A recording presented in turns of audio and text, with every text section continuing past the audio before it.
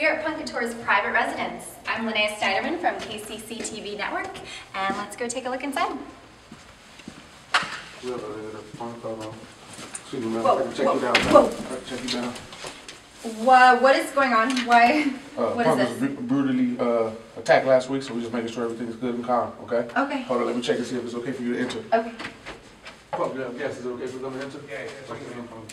Here you go. Hi. Hi. Hi there. How you doing? Nice to meet you. Nice to meet you. It's Yeah. such an honor. Come on in. Thank you so much. Thank you. Wow. Yeah, come on in. Beautiful. Yeah. Well, welcome to my, uh, well, it's mine and Liz's apartment. Great. So, So we are here at Punk Kouture's private residence. This is really exciting. Um, so this is an exclusive interview. Um, this is such an honor to sit here with you. Um, so thank you so much for having me. no, thank you. Um, so first off, you have a famous recording artist roommate, Liz Primo. Tell me a little bit about her. Liz, she is one of my best friends. She's an incredible, incredible um, artist. She just released her new single. Um, it's called Blow Away.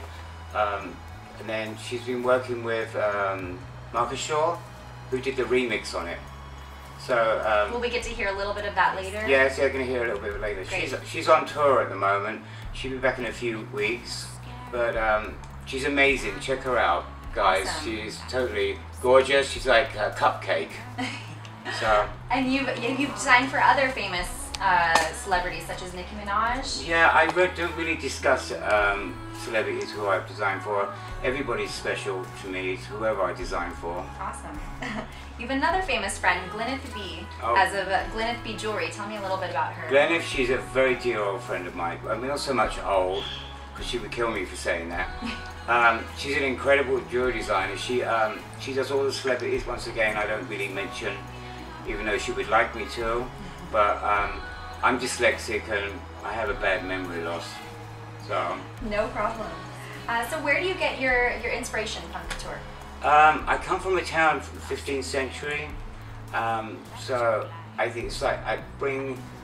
It's like punk used to be a, like a street fashion, and I do still do the same. I buy vintage and I mix it.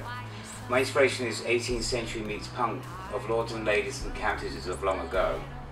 So um, that's where I draw my. insp- I watch a lot of old movies, you know. So that's where I draw it all from. Beautiful. I love it. Uh, what can we expect next from you?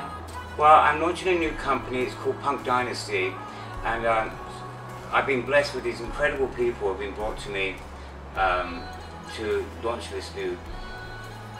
You, you have a new manager, Jerika. Tell me a little bit about her um, as well as the rest of Dynasty Punk. We have Brandon Caffey, Kenny B, Corey Lee, and of course, Gwyneth B.